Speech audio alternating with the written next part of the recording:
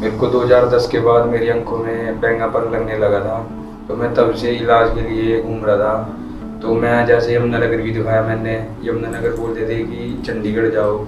चंडीगढ़ गया, चंडीगढ़ भी मैंने चक्कर लगाए, पाँच छः बार गया। तो फिर मैं यमुनानगर गोयल डॉक्टर के पास गया।